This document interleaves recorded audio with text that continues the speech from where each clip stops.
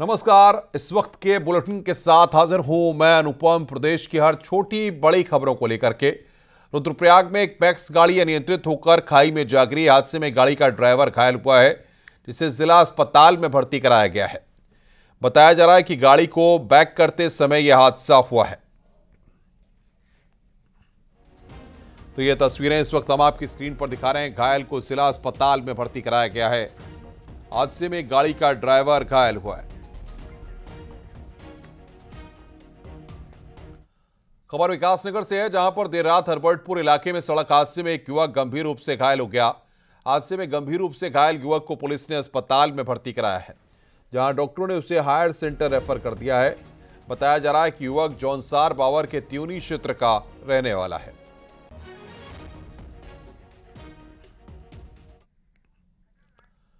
आगे बढ़ते हैं, विजिलेंस की टीम में हरिद्वार के लक्सर में छापेमारी कर रिश्वतखोर लेखपाल को गिरफ़्तार कर लिया है। टीम ने आरोपी वीरपाल को किसान से रिश्वत लेते हुए रंगे हाथ पकड़ा है। आरोप है कि लेखपाल वीरपाल डोसनी गाँव के किसान से फ़सल नष्ट होने के मुआवजे की रिपोर्ट लगाने के नाम पर साढ़े सात हज़ार रुपये मांग रहा था।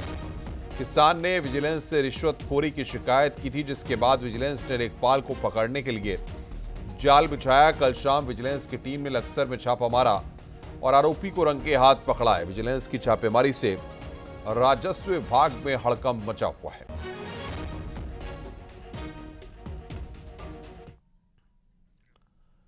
आगे बढ़ते हैं, गढ़वाल से दिल्ली जाने वाले यात्रियों को नई ट्रेन के रूप में बड़ी सौगात मिलने जा रही है। 28 अक्टूबर को ट्रेन का विधिवत उद्घाटन किया जाएगा। पहले ट्रेन का उद्घाटन शुक्रवार को होना था, लेकिन अब यह उद्घाटन आज किया जाएगा। रेल मंत्री दिल्ली से ऑनलाइन ट्रेन को हरी झंडी दिखाएँगे। वहीं ट्रेन के उद्घाटन के कार्यक्रम में सीएम पुष्कर सिंह धामी भी मौजूद रहेंगे।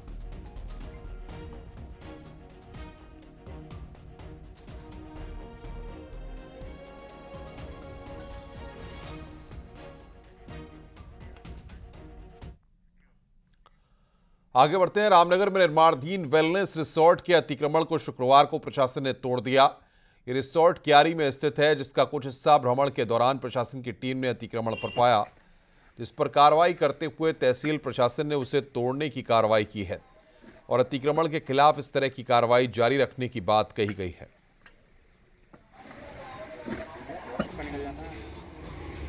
करोगे आज उद्यान विभाग में हुए करीब 600 करोड़ के घोटाले की सीबीआई जाँच होनी है। हाईकोर्ट ने इसका आदेश दिया है और बड़ी बात यह है कि सीबीआई जाँच के आदेश में बीजेपी विधायक का भी नाम है। रानीखेत के बीजेपी विधायक प्रमोद नैनवाल का ज़िक्र सीबीआई जाँच ऑर्डर में है। विधायक के भाई सतीश नैनवाल को भी पौधे मिले। हाईकोर्ट के ऑर्डर में 2402 पौधों का ज़िक्र है। आपको बता दें कि उद्यान विभाग में सेब के पौधों में भी घपला हुआ है। रानीखेत के चौबटिया में उद्यान विभाग का निदेशालय है।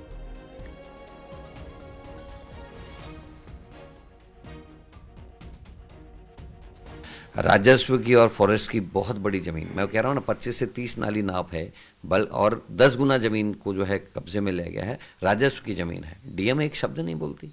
किसका असर आखिर किसका क्षय है या किसका संरक्षण ऐसे सफ़ेद पोष नेताओं को है? और हाईकोर्ट ने नाम, बकायदा नाम ले लिया। कि फलाने विधायक जी ने ये दिया, उनके भाई की ज़मीन नहीं है, इतनी ज़मीन नहीं है कि जितनी रूट दे दी। तो ये सारी चीज़ें शर्मनाक है और बीजेपी को मेरे ख्याल से कहने के लिए कुछ बचा नहीं है। और लेकिन सीबीआई कितने मजबूती से काम कर पाएगी कोर्ट के निर्देश के बाद भी, क्योंकि डबल इंजन की सरकार है। यहाँ भी बीजेपी की सरकार है और केंद्र में भी बीजेपी सरकार है। और नाम बीजेपी के लोगों का, बीजेपी की सरकार के बड़े नेताओं के नाम इसमें हैं। तो देखते हैं सीबीआई कितनी मजबूती से इसमें काम कर पाती है। देखिए मैंने ना सीबीआई जाँच के तहत जो भी दोषी पाए जाएँगे, पार्टियों ने दोषी को बचाया, बचाने काम नहीं किया है। ऐसी परिस्थिति जब निश्चित रूप से सामने आती है तो हम उस पर कार्रवाई करते हैं। अभी मैं इतना कह सकता हूँ, मेरी अभी प्रमोद जी से इस संदर्भ में वार्ता हुई है। उनका कहना है कि आम विधायक की तरह मेरे हमारी पुस्तनी ज़मीन है पुस्तनी ज़मीन पर हमने सेब लगाए हैं, सेब के पौधे अच्छे हुए हैं। इस नाते मैंने एक पत्र जो संबंधित इकाई है उसको लिख के दिया है। लेकिन सीबीआई जाँच में अगर कोई भी दोषी इस में पाया जाता है तो हम दोषियों को बख्शने वाले नहीं। आगे बढ़ते हैं, उद्यान विभाग में घोटाले की सीबीआई जाँच का मामला, बीजेपी विधायक प्रमोद नैनवाल करेंगे प्रेस कॉन्फ्रेंस। हाईकोर्ट के जाँच आदेश में प्रमोद नैनवाल के भाई का नाम है। रानीखेत से विधायक है प्रमोद नैनवाल। केस से भारतीय जनता पार्टी के विधायक है प्रमोद नैनवाल। जाँच में प्रमोद नैनवाल के भाई का नाम यहाँ पर आया है।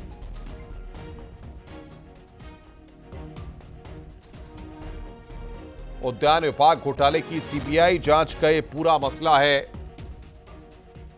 प्रमोद नैनवाल। प्रेस कॉन्फ्रेंस करेंगे। जाँच में प्रमोद नैनवाल के भाई का नाम सामने आया है। बड़ी खबर हम आपको बता रहे हैं, उद्यान विभाग घोटाले में सीबीआई जाँच का मामला पूरा। जाँच में प्रमोद नैनवाल के भाई का नाम सामने आया है।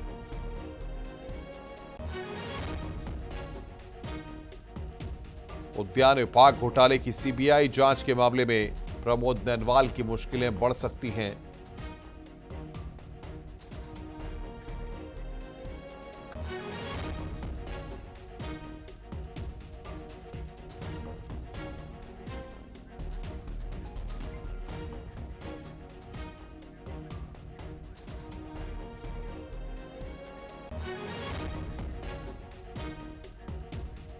और सीधे हम रुक करते हैं ग्राउंड ज़ीरो का। दीपांकर भट्ट हमारे सहयोगी, हमारे साथ जुड़ रहे हैं और उनके साथ बातचीत करने के लिए न्यूज़ एटीन पर एक्सक्लूसिव तौर पर प्रमोद नैनवाल हैं, जो सच बताएँगे कि आखिर क्या है पूरा मामला। उद्यान घोटाले में जिस तरीके से उनका नाम सामने आ रहा है, आरोप लग रहे हैं, ऐसे में विपक्ष भी तीखे हमले कर रहा है।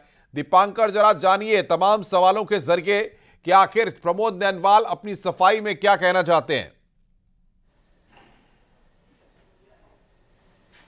बिल्कुल, अनुपम, इस वक्त प्रमोद नैनवाल हमारे साथ हैं। सर, हाईकोर्ट के आदेश में आपका नाम मेंशन है, इस पे आपके पहला बयान। नहीं, हाईकोर्ट के, हाईकोर्ट ने जो भी किया होगा, ठीक किया होगा, इसमें कहीं कोई दो राय नहीं, और सीबीआई जाँच हो उसमें, उससे भी हमको कोई गुरेज नहीं है।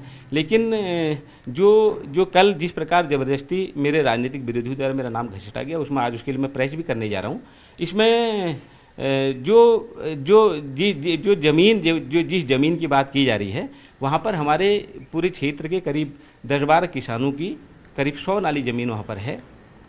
और उस उस ज़मीन में चूँकि मुख्यमंत्री ये पलायन रोको रोकथाम योजना के अंतर्गत 50 प्रतिशत पैसा किसान देगा और 50 प्रतिशत सब्सिडी मिलेगी एक योजना चली थी। उस योजना के अंतर्गत वहाँ के किसानों ने भी और छोटे भाई ने भी उसमें आवेदन किया।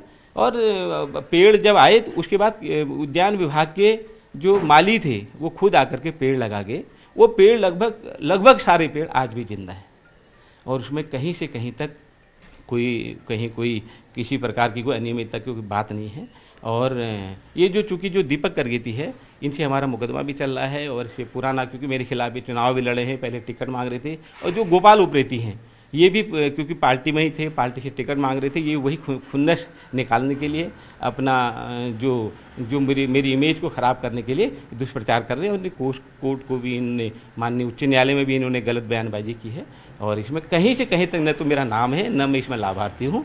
और मैं प्रेस में इस बातों को भी खुलासा कर कांग्रेस प्रदेश अध्यक्ष करण महाराज जो रानीखेत से ताल्लुक रखते हैं। उनका कहना है कि ज़मीन 25 नाली थी बाकी 200 नाली वहाँ पे वन विभाग और फॉरेस्ट की राजस्व की कब्जाई गई है। और नेता विपक्ष जो यशपाल आर्य हैं वो कहते हैं कि जो फर्जी पेड़ों पर आपने एक सर्टिफिकेट दिया है वो पेड़ है ही नहीं। नहीं मैं कह रहा हूँ वहाँ पर आकर के देख लें। मैं आपको वीडियो दिखाता हूँ अभी। सारे के सारे पेड़ वहाँ पर जीवित हैं। और जहाँ पर जहाँ तक वहाँ के किसानों की चूँकि वहाँ पर जंगल बीच घने जंगलों में पूरा ये बंजर खेत थे। एक प्रगतिशील किसान मंच पर सवाल यहाँ पर कि सीबीआई जाँच हो रही है। तो दूध का दूध और पानी का पानी हो जाएगा। सवाल यहाँ पर यह है कि अपना पक्ष क्यों अब तक ये नहीं रख पाए हैं? मुनाफा कमाने की इनकी आदत है और हमने वहाँ पर चूँकि मैं मेरा मेरा मकसद रहा है कि पलायन रुकना चाहिए। पलायन कैसे रुकेगा जो हमारी बंजर खेत है? बात ये भी कि अब सीबीआई केस की जाँच करेगी। अगर आपसे या आपके भाई से पूछताछ करती है तो आपको इस बात का है कि आप क्लियर आप तैयार हैं? तो कोई भी आ जाए उसमें कहीं कोई कोई डर जब कुछ गलती नहीं है तो उसमें डरने की कोई बात ही नहीं है। सीबीआई आए कोई भी आए हमें कहीं कोई किसी बात से कोई न तो कोई डर है न, न कोई हमारा फॉल्ट है। पेड़ जितने दिए गए थे वो पेड़ वहाँ पर लगाए गए हैं और आज भी जीवित हैं। आपके नाम का कोई गलत फ़ायदा नहीं उठाया गया। किसी भी किसी प्रकार ने बीजेपी के प्रदेश अध्यक्ष ने भी प्रमोद नरवाल से फ़ोन पर बातचीत की थी। इधर विपक्ष लगातार इस्तीफे की मांग कर रहा है लगातार सरकार को घेरने की बात कर रहा है। एक वहाँ का निवासी उत्तराखंड का। वो भी ये जो सरकार की योजनाएँ हैं ये अपने उद्यानीकरण है इसमें अगर उसने अगर उसका लाभ अब बीजेपी प्रदेश अध्यक्ष ने कोई बात की और दूसरा विपक्ष लगातार आपके और कृषि मंत्री के इस्तीफे की मांग कर रहा है इस पे आप क्या कहेंगे? विपक्ष मतलब मेरा मेरा इसमें मेरा तो दूर दूर तक कोई मतलब ही नहीं है इसमें।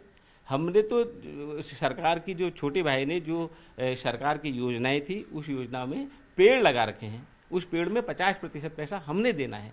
तो इसमें इस्तीफे की और इसमें घोटाले की कहाँ बात आ गई? प्रदेश अध्यक्ष जी ने आपसे बात की बीजेपी। प्रदेश अध्यक्ष से कल मेरी बात हुई थी मैं उनसे कल किसी समय कार्यक्रम में मिला था तो उनने मेरे से कहा कि अपना पक्ष बिल्कुल मजबूती से जो है वो रखना प्रेस के सामने। तो अनुपम न्यूज़ 18 पे आपने देखा प्रमोद नैनवाल हमारे साथ थे उन्होंने साफ़ किया है कि चाहे सीबीआई करने आ जाए, वो उसके लिए तैयार है।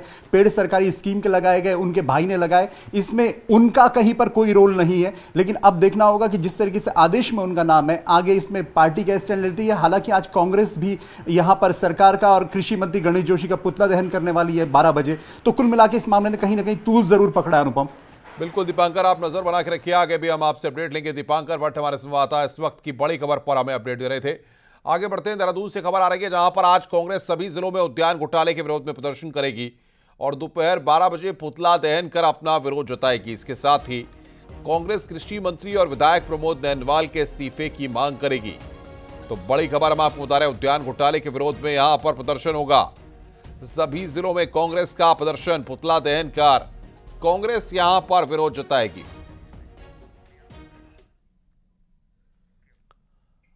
पूर्व मुख्यमंत्री हरीश रावत को सीबीआई ने देहरादून के अस्पताल जाकर समन थमाया है। हरीश रावत को स्टिंग केस में समन दिया गया है और 7 नवंबर को सीबीआई हेड ऑफ़िस में आने के लिए समन दिया गया है। हालाँकि सूत्रों के मुताबिक हरीश रावत ने दिसंबर के महीने की तारीख मांगी है।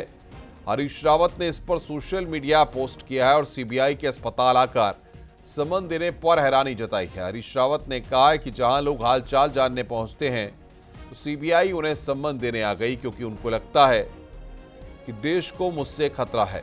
हरीश रावत ने सीबीआई के कदम पर हैरानी जताई है। कुछ साल पहले हुए स्टिंग के मामले में यह सम्मन हरीश रावत को दिया गया है, जबकि हरीश रावत एक्सीडेंट के बाद देहरादून के जॉलीग्रांट अस्पताल में भर्ती हैं।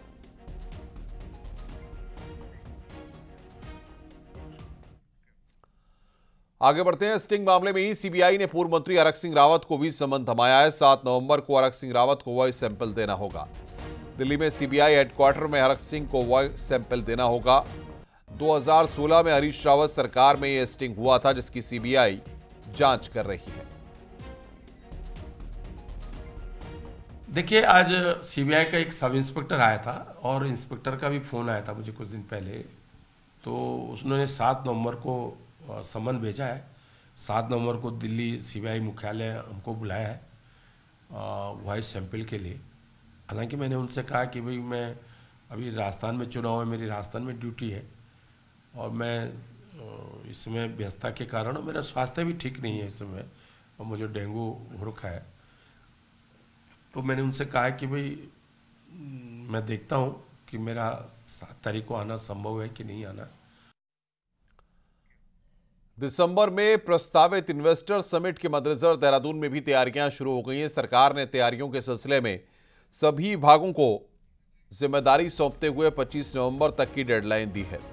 सबसे महत्वपूर्ण काम लोक निर्माण विभाग का है। विभाग को Jolly Grant airport, Dehradun railway station और आईएसपीटी से कार्यक्रम स्तर एफआरआई तक जाने वाली सड़कों और बड़े होटलों तक जाने वाले ब्लैक टॉप करने की ज़िम्मेदारी दी गई है। लोक निर्माण विभाग इन दिनों युद्ध स्तर पर इन तैयारियों को पूरा करने में जुटा हुआ है। तो एमडीडीए शहर की ऐसी प्रमुख तेरह सड़कों, चौराहों सड़कों से लगी दीवारों के सौंदर्यीकरण में जुटा हुआ है। ये हम लोग जो पूरे एयरपोर्ट से लेके, रेलवे स्टेशन से लेके और आईएसबीटी से लेके जितनी भी सड़कें आ रही हैं, हमारा जो वेन्यू है एफआरआई का, वो सारी सड़कें पे दुरुस्त की जा रही हैं, लगभग सब पे काम चल रहा है। जो एनएच की सड़कें उसको एनएच कर रहा है। एनएचआई से भी हम लोग को एक बड़ा बजट सैंक्शन किया गया है, जिस पे काम हम लोग कर रहे हैं। बाकी इस शहर की जो महत्वपूर्ण जो सड़कें हैं, जो इम्पोर्टेंट होटल की जो सड़कें हैं, वो सब हम लोग टेकअप कर रहे हैं। जहाँ तक शहर के सौंदर्यीकरण का जिम्मा है वो भी प्राधिकरण को दिया गया है। उसमें हम लोग वॉल पेंटिंग है जो साइनेज है उसको ठीक कर रहे हैं। पार्क हैं। अगर कहीं लैंडस्केपिंग रोड साइड में मिल रही है उसको ठीक कर रहे हैं। जो डिवाइडर हैं उसको भी हम लोग ठीक कर रहे हैं। तो वो भी हमारा काम जो तेरह मुख्य सड़कें हैं उसमें हमने प्रारंभ कर दिया है।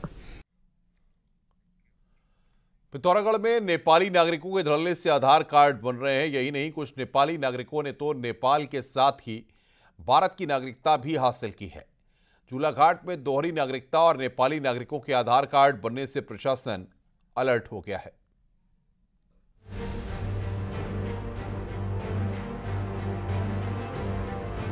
नेपाल के लोगों द्वारा गलत तरीके से भारत की नागरिकता लिए जाने के मामले फिर से सामने आने लगे हैं। भारतीय कर्मचारियों से साठगांठ कर कई नेपाली नागरिकों ने आधार कार्ड भी बनवा डाले हैं। आधार कार्ड की मदद से नेपाली नागरिक भारत में मिलने वाली सभी सुविधाओं का लाभ उठा रहे हैं। नेपाल के जूलाघाट में रहने वाले तारा दत्त के परिवार के साथ दो अन्य सदस्यों ने गलत तरीके से आधार कार्ड बनाए जाने की बात भी सामने आ रही है। वहीं भारत और नेपाल दोनों मुल्कों की नागरिकता भी हासिल की है।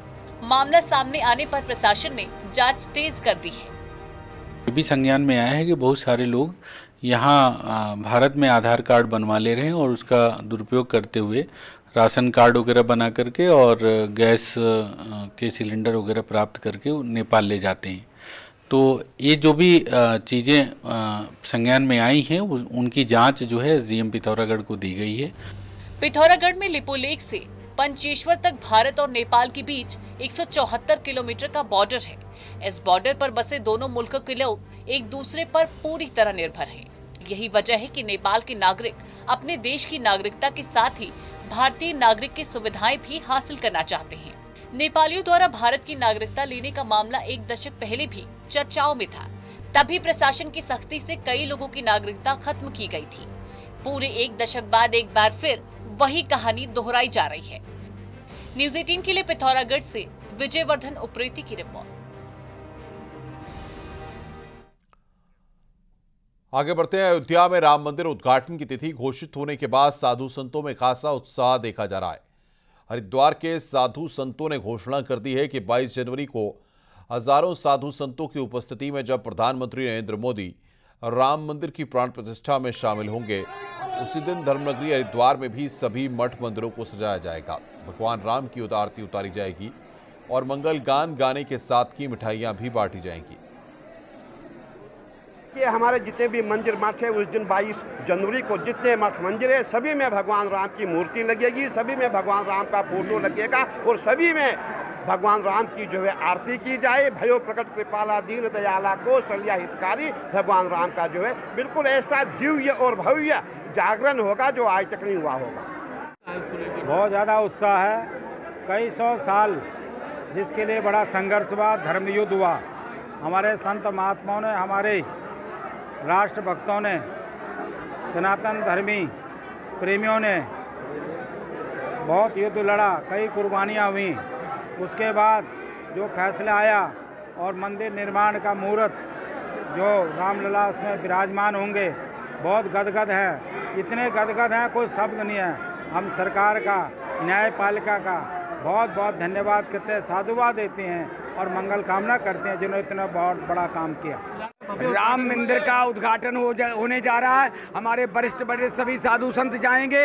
बाकी जो संत नहीं जा पाएँगे वो अपने मठ मंदिरों में उसी वक्त उसी टाइम भगवान की प्रतिमा की पूजा करेंगे आरती उतारेंगे प्रसाद बांटेंगे भंडारा करेंगे खुशी में भगवान के लिए समर्पित हो जाएँगे। ओम नमः पार्वती। कहते हैं कि हुनर इंसान के हालातों का मोहताज नहीं होता। मौका मिलने पर वह खुद को साबित कर ही देता है। ऐसा ही एक किस्सा हरिद्वार जिला जेल में बंद एक कैदी का है, जो हत्या के आरोप में सजा काटते वक्त यहाँ सुंदर मूर्तियाँ तराश रहा है। कैदी की मूर्ति कला देखकर हर कोई उसकी तारीफ़ करता है। देखिए हमारी रिपोर्ट।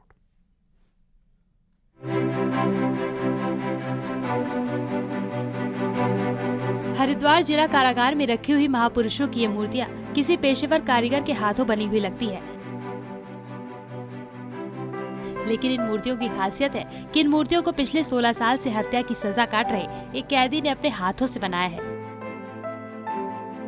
2007 से जेल में बंद विनोद साहनी कई महापुरुषों और देवी देवताओं की मूर्ति बना रहा है। कैदी के हाथ से बनी हुई मूर्तियाँ किसी पेशेवर मूर्तिकार से कम जीवंत नहीं लगती। ये हम अपने घर से सीखा भाई लोगों के। बड़े भाई लोग वहाँ बनाता है। वो मिट्टी के पहले पहले ज़माने में वो सस्ते सस्ते मूर्ति था जब से बना रहा है वो लोग। विनोद के हाथों बनी मूर्तियाँ इतनी सजीव लगती हैं कि हर कोई इन मूर्तियों को देखकर अचरज करता है और मूर्तियों की तारीफ़ किए बिना नहीं रह पाता। जेल प्रशासन के मुताबिक कैदियों के हुनर को देखकर उन्हें संसाधन उपलब्ध कराए जाते हैं और आगे बढ़ावा दिया जाता है। कई लोग ऐसे जो जो हमारे यहाँ जो भी कार्य चलते हैं, जैसे सिलाई यूनिट है या पावर लूम की यूनिट है, हमारा एक जॉब वर्क भी चलता है यहाँ, और यहाँ गार्डनिंग का है, खेती का है तो उसमें जो है कई बंदे जो है अपना हमें सहयोग प्रदान करते हैं। जेल में दूसरे कैदी भी सिलाई, कढ़ाई और फर्नीचर का काम कर न सिर्फ़ जीवन को दिशा दे रहे हैं, बल्कि अपनी आमदनी का ज़रिया भी बना रहे हैं। न्यूज़ एटीन के लिए हरिद्वार से पुलकित शुक्ला की रिपोर्ट।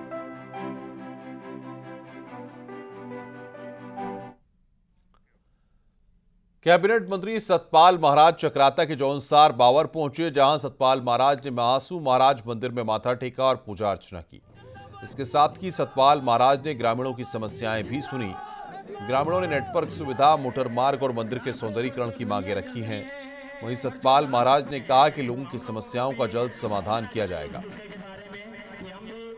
और ये विश्वास दिलाता हूँ कि इस प्रकार से जो खाटवा महाशु है, इसका और भी टूरिज़्म में प्रचार प्रसार होगा, पर्यटन में और भी इसको आगे बढ़ा करके लाएँगे। हमने महाशु महाराज का सर्किट बनाया है, जिसमें सभी महाशु महाराज के भाइयों को लेके, उनके स्थानों को लेकर हमने चिन्हित किया है और हम चाहते हैं ये सर्किट जो और भी विशाल हो। रुक रहे हैं यहाँ पर एक और ब्रेक के लिए, खबरों का सिलसिला लगातार जारी है।